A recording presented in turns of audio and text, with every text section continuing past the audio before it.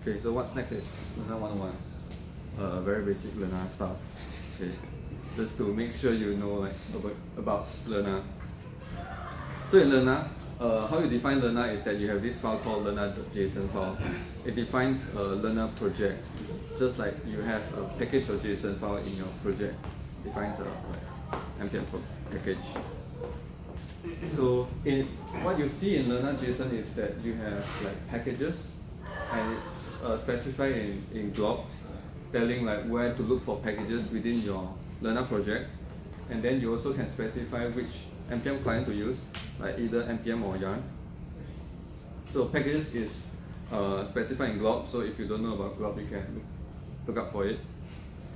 So previously you we we specify the packages in widgets folder and utils folder right? So in widgets folder and utils folder any folders that contain package.json will be considered as a package. So if you run lerna list, which is the first command you are learning right now, to list out all the packages within the lerna project, it will show you like email input, address input, and currency input for this case. So uh, in package.json, you can specify dependencies uh, among like address input can use address util for example which is within your project uh. so you, you can have a very complicated uh, dependency graph of your packages within a lerna project so imagine if you have this like uh, like awesome input is requiring uh, is dependent on class name and maybe happiness and like currency input is depending on currency util um, so just take a while to think about this. Like if you don't have a tool to help you, like how are you going to npm link all the dependencies together? And because we mentioned just now, like publishing uh, sequence is important, right? So how are you going to like manage which package to publish first and which to publish later? Like and do it every time you have like something to fix right? So the nice so yeah. So the first command we are going to learn here is lerna bootstrap.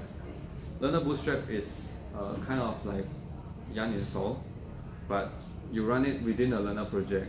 So you can run it anywhere within a lerna project. You will just look up to the nearest uh, lerna.json file and consider that as a lerna project and when you run lerna bootstrap, if you will look at the package.json, it will do this in every packages.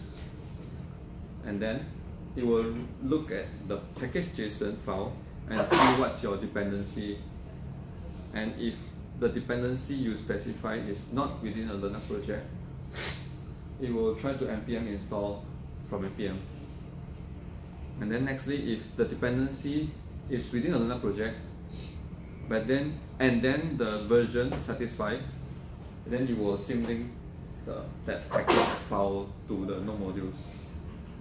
Then if if it's there but the version doesn't match we will try to npm install from npm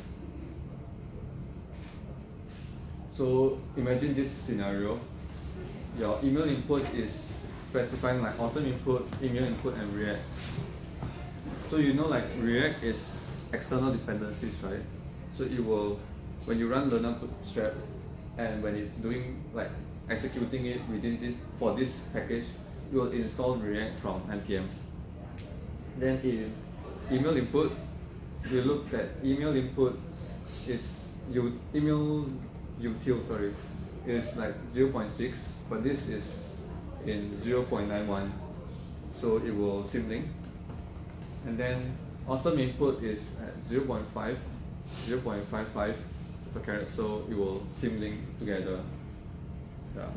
So this is how Lerna Bootstrap works.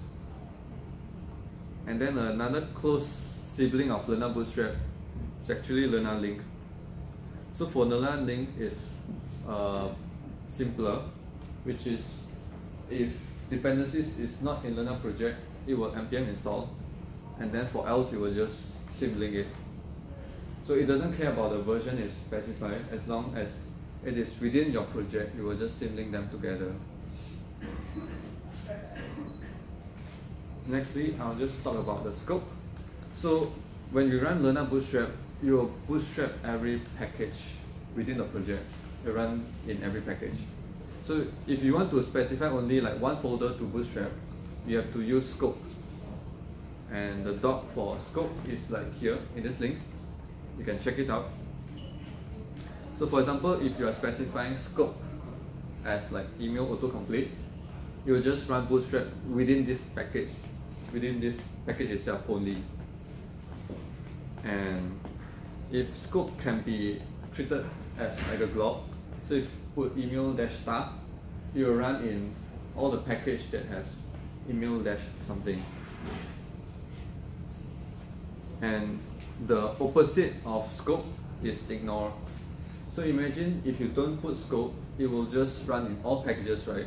So if you have one package that you want to ignore, you can use ignore. And then you will run on all packages except that. Next is include filter dependencies. So this will look at the dependency graph. So it will run it will run in email autocomplete as well as all the dependencies recursively down like down to all the dependencies it requires. And the direct opposite of it is include filtered dependence. So include filter dependencies and include filter dependence will run after is specified after the scope. So you can firstly scope of something to filter out a few packages and then this flag is to include all the dependencies or dependents of that filtered list. Lastly, we have is uh, git ref, since git ref. So if you specify dash since equals like head, for example, you will filter only packages that has diff uh, on that on that uh, on that git reference. So this is what we use in our CI lab. So if we will change, we will check what has changed since the master, and then only run like certain commands within those packages. So, any questions? So.